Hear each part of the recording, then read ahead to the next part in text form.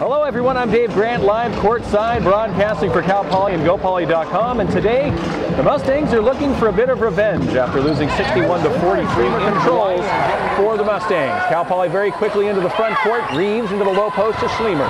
Schlemer bodied up by Adolfo. Schlemer goes up and hooks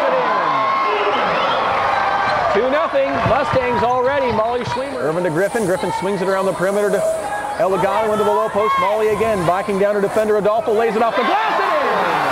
Molly Schlemer, the six foot five tower of terror.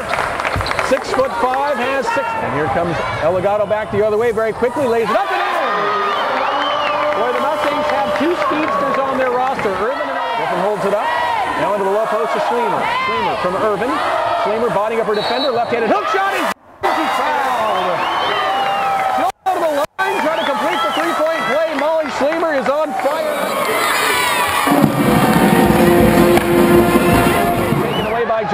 Nice job by Molly Schlemer into the front court. Molly up ahead. Lays it up and in. She blocked the shot. Back down the other side of the court. Laid it up and in. She's six foot five. You remember. King had a second chance opportunity. Here's Elegado from the left wing. Shot up is good. Three-pointer. And you get Elegado going. The Mustangs will have a fun day. Coach Mimnaugh talking about Jonae when she's able to get those long rebounds and push into the front court. And speaking of to their left hand and in. A little bit too short, and here comes Jonae Ervin looking to run. Into the front court, lifts it up off the glass and in. Not one Ranger